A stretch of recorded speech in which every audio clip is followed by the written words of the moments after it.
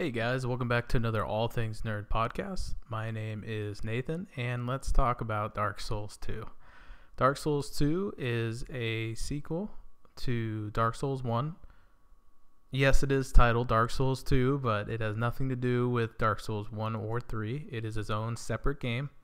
The game is set in a fantasy world called Dren- Drangleic, and um, it's just its own title. Now, I have been currently still playing through Dark Souls 2. I did currently a video on Dark Souls Remastered, so if you haven't seen that, please go check that out. Um, I gave my opinions and thoughts of playing through the game. Right now, not like Dark Souls Remastered, I'm currently still playing through Dark Souls 2, so it's still a, you know, learning process. It's not my favorite in the Dark Souls series. I am having fun with it, but I like Dark Souls 1 and 3 a lot better. Uh, Dark Souls 2 has a way bigger learning curve than Dark Souls 1 and 3. And the reason I say that is because, well, I feel as if the combat is a lot different, uh, especially, and I feel like it's a lot slower than 1 and 3. Maybe, I mean, maybe it's not super slower, but like it just feels more like janky, like it wasn't made as well as the first game and the third. And there's actually reasoning a reasoning behind that, right? So when From Software were making a sequel to Dark Souls One, um, um, Miyazaki was actually busy um, making Bloodborne. So he basically said, "Hey, the B Team Studio from Software, make the sequel. Do what you want to do and you know i'm not going to be holding your hand. I mean i'll help you through things but you guys you know this is your own project. So they didn't have from software a team on it. They only had the b team. So that's why you see dark souls 1 and dark souls 3 developed and made a lot better and that's why a lot of people like dark souls 1 and 3 now there were also a lot of development issues with dark souls 2 um, you know, if you notice a lot of the areas, especially the bosses in the game, one thing I've noticed is they can be kited really easily. So you can literally just circle strafe them, right? You can just walk in circles. Um, you don't have to really fight them.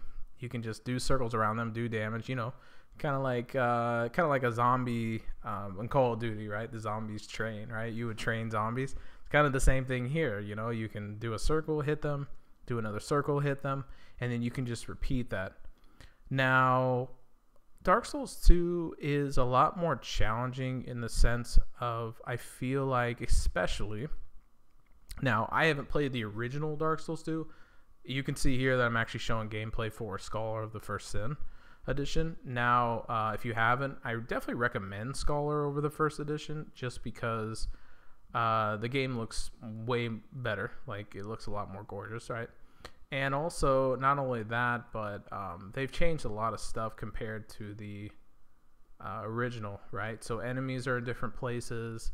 Uh, they have changed. Uh, they've definitely spawned a lot more enemies in places. Uh, so there's just been a lot of different stuff. You can see here I'm sucking really bad at this game. I keep getting poisoned. so that's been one of the hard challenges. One thing I will say about the poison in this game, I like it so much more better than the first game because I feel like poison in the first game, you get poisoned and then it you can't get rid of it, right? Unless you eat the moss. Here, it's like sure you get poison and yeah, you can still eat the moss, but uh, you can just see you can just let the timer run out and poison will go away quicker. Uh, this was actually my first time um, versing a mimic in this game, so that was interesting. And the mimics in this game are like the mimic in Dark Souls 3, where they kind of, you know, go on their back instead of just fighting you. If I remember correctly, in Dark Souls 1, I don't remember there ever being mimics where they turn around on their back and fight you upside down. Um, unless I'm just, just, not remembering correctly. Maybe someone can correct me that on the video. But uh, some of my so some of my thoughts on Dark Souls 2. Um, like I said earlier, it's not my favorite in the franchise. Uh, I'm I am having fun with it, and it has been a big learning curve for me. But one thing I do like, of course, like everybody else, I do love Majula. Majula is beautiful. Uh, it's that's a really cool hub area compared to the Firelink Shrine and the other Firelink Shrine, in Dark Souls Three. Now, the Firelink Shrine in Dark Souls 1 is my favorite. I think like I can speak for most people like that. Here's me being an idiot trying to open this Pharros Lockstone. Um, and I'm getting poisoned again, so I don't even know what I'm doing here. But I didn't realize that you could destroy the poison and get rid of it. Spoilers. Uh, by going and lighting the uh, turn, the the what do you call the giant uh, wind wind terminal or whatever you call those things. Um, you can go light it on fire, and that will actually stop all the poison coming in the Earthen Peak area. So, um, man, one of my least favorite places in this game have been the gutter, where you go down and fight the um, uh, what's that boss? I can't think of his name, but he's terrible. The run back is the worst. Uh, I, uh, but people were telling me that the run back to that boss is nothing compared to what I'm gonna deal with in the DLC. I heard the DLC was like super hard in this game um, because people say they're just like like I guess undead like reindeer that like charge you in the snow and you can't see where they're coming from. So I um I'm, I'm, I'm looking forward to that. You know that should be fun. Uh, what else can I say about Dark Souls 2? Dark Souls 2 the the enemy types are a lot different in this game in a sense of um, I feel like they can they can kill you easier than Dark Souls one and three. I don't know. I just I felt like you, it just takes a couple shots and you're like dead. But that's also because you get overwhelmed quickly. I will say advice um, if you're going to get into Dark Souls two, definitely don't go in with different expectations than one and three. Just because, like I mentioned, the combat's a little more clunkier in this game. So the way you move your character and stuff, you can kind of see here. Watch, I'm about to fight these guards. It's just I don't know. The combat is just different. So it's not like your typical. Oh, I'm about to die. Okay, I get away. Also here, you'll notice here in a minute, I actually go in the boss room. And I didn't realize that uh, you could get rid of the poison right away yet. So I actually go in the boss room and you'll see here in a minute what happens.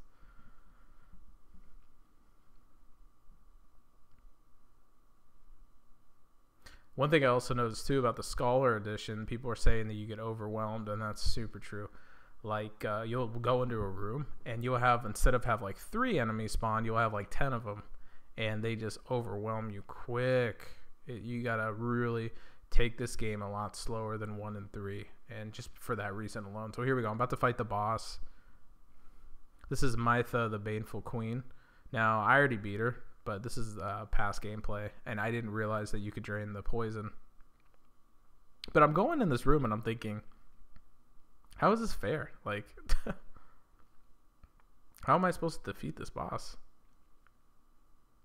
And then I realized it. Um, but yeah, I just kind of wanted to give my quick thoughts on Dark Souls 2.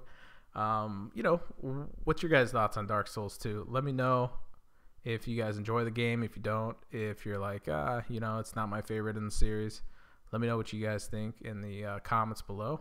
Uh, let me know if there's any tips you can give me while going through the game. Um, but yeah, I uh, hope to see you guys on the uh, next video. All right, take care, guys.